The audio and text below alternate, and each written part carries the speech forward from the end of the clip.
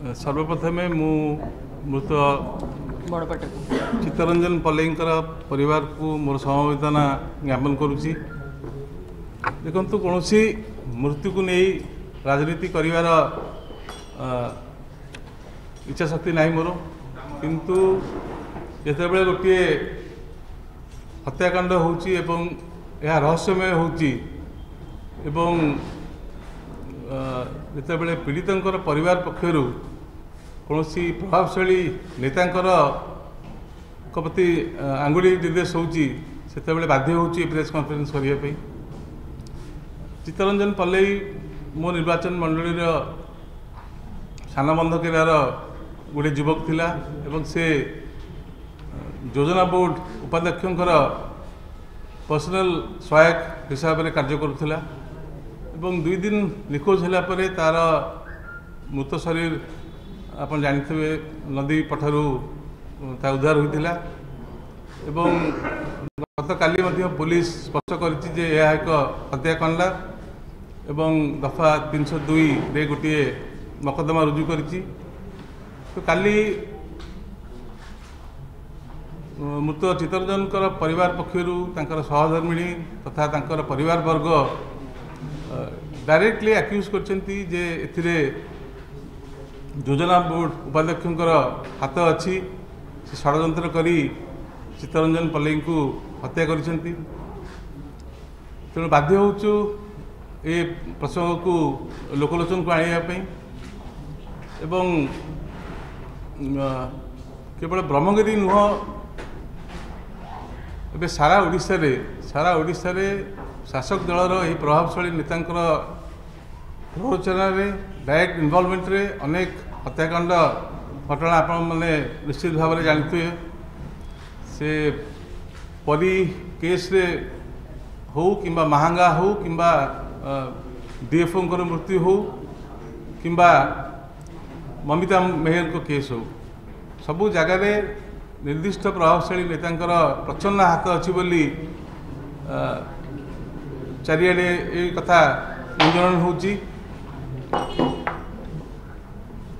ତେଣୁ ମୁଁ ନିର୍ଦ୍ଦିଷ୍ଟ ଭାବରେ କହିଦେବାକୁ ଚାହେଁ ଯେ ଯେହେତୁ ସେ ଗୋଟେ ସାମ୍ବିଧାନିକ ପଦବୀରେ ଅଛନ୍ତି ତେଣୁ ସରକାର ମାନ୍ୟବର ମୁଖ୍ୟମନ୍ତ୍ରୀ ତାଙ୍କୁ ତୁରନ୍ତ ଏହି ସାମ୍ବିଧାନିକ ପଦବୀରୁ ଇସ୍ତଫା ଦେବା ପାଇଁ ବାଧ୍ୟ କରନ୍ତୁ ଏବଂ ଯେଉଁଭଳି ଭାବରେ ଆଜି ଓଡ଼ିଶାର ପୋଲିସ ପ୍ରଶାସନ ଯେଉଁଭଳି ଭାବରେ କାର୍ଯ୍ୟକ୍ରମ କରୁଛନ୍ତି ଏବଂ ପୂର୍ବରୁ ମଧ୍ୟ ଅନେକ ଅ, ଗୁରୁତ୍ୱପୂର୍ଣ୍ଣ କେସ୍କୁ ସେମାନେ ଏହି ପ୍ରଭାବଶାଳୀଙ୍କ ନାମକୁ କେବେ ହେଲେ ନେଉନାହାନ୍ତି ତେଣୁ ତଦନ୍ତକୁ ଦିଗହରା କରନ୍ତୁ ନାହିଁ ତେଣୁ ମୁଁ କାଳେ ଏ ପୂର୍ବରୁ ମଧ୍ୟ ଆପଣମାନେ ଜାଣିଥିବେ ଯେ ଦୁଇ ହଜାର ବାର ମସିହାରେ ମଧ୍ୟ ଏହି ବ୍ରହ୍ମଗିରିରେ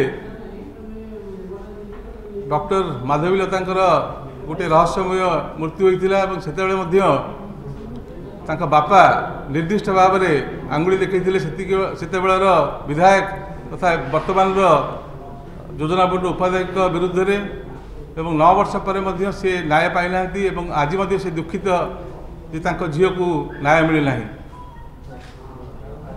ପୂର୍ବରୁ ବ୍ରହ୍ମଗିରିରେ ଅନେକ ନେତା ନେତୃତ୍ୱ ନେଉଥିଲେ ଏବଂ ବ୍ରହ୍ମଗିରିର ସୁନାମ ସେମାନେ ବଜାୟ ରଖୁଥିଲେ। କିନ୍ତୁ ବିଗତ ଦଶ ବର୍ଷ ଭିତରେ ଶାସକ ଦଳର ଯେଉଁ ନେତା ଆସିଛନ୍ତି ସେ ନିଶ୍ଚିତ ଭାବରେ ବ୍ରହ୍ମଗିରିର ଚିତ୍ରକୁ ଛବିକୁ ମଳିନ କରିଛନ୍ତି।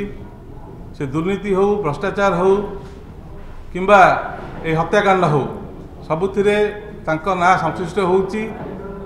କିନ୍ତୁ କେବଳ ଶାସକ ଦଳ ଏବଂ ନବୀନ ପଟ୍ଟନାୟକଙ୍କ ଛତ୍ରଛାୟାରେ ସେ ତାଙ୍କ ବିରୁଦ୍ଧରେ କୌଣସି ଅଭିଯୋଗ ଥିଲେ ମଧ୍ୟ ସରକାର କୌଣସି ପଦକ୍ଷେପ ନେଉନାହାନ୍ତି। ତେଣୁ ଆଶା କରିବି ଯେ ଏ ଘଟଣାର ନିରପେକ୍ଷ ତଦନ୍ତ ହେଉ ଏବଂ ତଦନ୍ତ ହେବା ପୂର୍ବରୁ ମୁଖ୍ୟମନ୍ତ୍ରୀ ତାଙ୍କୁ ତାଙ୍କ ସାମ୍ବିଧାନିକ ପଦବୀରୁ ବହିଷ୍କାର କରନ୍ତୁ ଆଜ୍ଞା ଆପଣ କେମିତି କାଲି ତ ସଞ୍ଜୟ ଦାସର ନିଜେ କହିଲେ ଏଥିରେ ତାଙ୍କର କିଛି ନାହିଁ ନିଜେ କହିଲେ ମୁଁ ଜାଣିନି ଏଥିରେ ମୁଁ ମର୍ମାହିତ ଦୂଷିତ ଆପଣ କିଭଳି କହୁଛନ୍ତି ତାଙ୍କର ସମ୍ପୃକ୍ତି ନେଇକି ଆପଣ କଣ ରାଜନୈତିକ ଭାବରେ କହୁଛନ୍ତି ନା କଣ ଆପଣ ଆଧାର କଣ? ଦେଖନ୍ତୁ ଯେତେବେଳେ ଗୋଟେ ହତ୍ୟାକାଣ୍ଡ ହେଉଛି ଏ ମୃତ୍ୟୁଟା ଅଲରେଡ଼ି ପୋଲିସ କହିଛି ଯେ ଏଇଟା ହତ୍ୟାକାଣ୍ଡ ବୋଲି। ଏବଂ ଯେତେବେଳେ ପୀଡ଼ିତଙ୍କର ସହଧର୍ମିଣୀ ତାଙ୍କ ପରିବାର ବର୍ଗ ଆପଣମାନେ ନି- ନି- କାଲି ସେ ମୁଭମେଣ୍ଟ ଦେଖିଦେବେ ଏବଂ ସବୁ ଟିଭି ମାଧ୍ୟମରେ ଗଣମାଧ୍ୟମରେ ମଧ୍ୟ ମୁଁ ଦେଖିଛି। ସେମାନେ ଚିତ୍କାର କରି କହୁଛନ୍ତି ଯେ ଏଥିରେ ଷଡ଼ଯନ୍ତ୍ର କରିଛନ୍ତି। ତେବେ ଯଦି ପୀଡ଼ିତଙ୍କର ପରିବାର ପକ୍ଷରୁ ଏଭଳି ଆକ୍ଷେପ ହେଉଛି ତେବେ ଆପଣ କେମିତି ଭାବୁଛନ୍ତି ଯେ ସେ ଦୋଷୀ ନ- ହୋଇନଥିବେ ବୋଲି? କିନ୍ତୁ ତାଙ୍କ ସ୍ତ୍ରୀ ଅଭିଯୋଗ କଲେ ମଧ୍ୟ ବି ତାଙ୍କ ସ୍ତ୍ରୀ ଅଭିଯୋଗ ସେମିତି ସିଧାସଳଖ ଭାବେ କରିନାହାନ୍ତି। ତାଙ୍କ ସ୍ତ୍ରୀ କହିବା କଥା ଯେ ତାଙ୍କ ପାଖରେ ଯେମିତି ଥିଲେ ତାଙ୍କ ନିଖୋଜ ଖବର ତାଙ୍କ ପାଖରେ ରହିବା କଥା। କିନ୍ତୁ ଆପଣମାନେ କୋଉ ଆଧାରରେ ସିଧାସଳଖ ଆକ୍ୟୁଜ କରିପାରୁଛନ୍ତି ସଞ୍ଜୟ ଦାସର ଦେଖନ୍ତୁ ଗୋଟିଏ ଅ, ହତ୍ୟାକାଣ୍ଡ ଘଟିଲେ ଏବଂ ଯେତେବେଳେ ପରିବାରଙ୍କ ତରଫରୁ ଗୋଟିଏ ଆଲିଗେସନ୍ ଆସୁଛି ତେବେ ଆମେ କେମିତି ଭାବିବୁନି ଯେ ସେ ସେଥିରେ ଅ, ଜଡ଼ିତ ନଥିବେ ବୋଲି? କେଉଁ ଆଧାରରେ ଆମେ ଆ, ଆ, କହିପାରିବୁ ଯେ ସେ ନଥିଲେ ବୋଲି ଆପଣ ବ୍ରହ୍ମଗିରି ନିର୍ବାଚନ ଏବଂ ନିଶ୍ଚିତ ଭାବେ କିଛି ଖବର ଆପଣଙ୍କ ପାଖରେ ଥାଇପାରେ ଏ ହତ୍ୟାକାଣ୍ଡ ପଛରେ କ'ଣ ଅନୁମାନ ଆପଣ କରୁଛନ୍ତି ଯେ ଏଇଥିପାଇଁ ହେଇଥାଇପାରେ ଯେହେତୁ ଆପଣ ସେ ଏରିଆ ନେତା ଦେଖନ୍ତୁ ପୂର୍ବରୁ ମୁଁ ମଧ୍ୟ କହିଛି ଆପଣଙ୍କୁ ଯେ ଦୁଇହଜାର ବାର ମସିହାରେ ମଧ୍ୟ ବ୍ରହ୍ମଗିରିର ଜଣେ ଡକ୍ଟର ମାଧବୀ ଲତା ତାଙ୍କର ମଧ୍ୟ ମୃତ୍ୟୁ ହୋଇଥିଲା ଏବଂ ରହସ୍ୟମୟ ମୃତ୍ୟୁ ହୋଇଥିଲା। ଦୀର୍ଘ ନଅ ବର୍ଷ ପରେ ମଧ୍ୟ ବର୍ତ୍ତମାନ ଯାଏଁ ସେ ତଦନ୍ତ କେଉଁ ଜାଗାରେ ପହଞ୍ଚିଛି ଆମେ କହିପାରିବୁ ନାହିଁ। କିନ୍ତୁ ସେତେବେଳେ ମଧ୍ୟ ବର୍ତ୍ତମାନର ଯିଏ ଯୋଜନା ବୋର୍ଡ଼ର ଉପାଧ୍ୟକ୍ଷ ଅଛନ୍ତି ତାଙ୍କ ବିରୁଦ୍ଧରେ ତାଙ୍କ ବାପା ଏହି ଅଭିଯୋଗ ଆଣିଥିଲେ ଏବଂ ଆଜି ବି ତାଙ୍କ ବାପାଙ୍କୁ ପଚାରନ୍ତୁ। ସିଏ ନିଶ୍ଚିତ ଭାବରେ କହୁଛନ୍ତି ଯେ ମୋ ଝିଅ ନ୍ୟାୟରୁ ବଞ୍ଚିତ ହେଲା।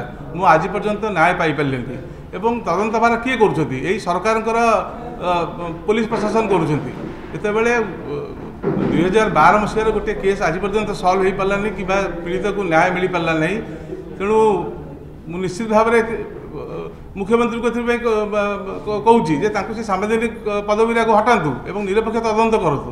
ନାଇଁ, ଆପଣ ବିଧାୟକ ହିସାବରେ ପୀଡ଼ିତାଙ୍କ ପରିବାରକୁ ଭେଟିଛନ୍ତି ନା ଭେଟିବାକୁ ଓ ଭେଟିକି ତାଙ୍କଠୁ ଘଟଣା ସମ୍ପର୍କରେ ଜାଣିବାକୁ ଚାହୁଁଛନ୍ତି ନା କ'ଣ ଭାବୁଛନ୍ତି? ନିଶ୍ଚିତ ଭାବରେ ନିଶ୍ଚିତ ଭାବରେ ମୁଁ ତାଙ୍କ ପରିବାର ପ- ପାଖକୁ ପହଞ୍ଚିବି ଏବଂ ଅ, ସମବେଦନା ସହିତ ମୁଁ ତାଙ୍କୁ ଆଶ୍ୱାସନା ଦେବି ଏବଂ ଅ, ଉଚିତ ନ୍ୟାୟ କିପରି ତାଙ୍କୁ ମିଳିବ ମୁଁ ନିଶ୍ଚିତ ଭାବରେ ତାଙ୍କ ପାଖକୁ ଯାଇକିନା ଏ ବିଷୟରେ ଅ, ଚେଷ୍ଟା କରିବି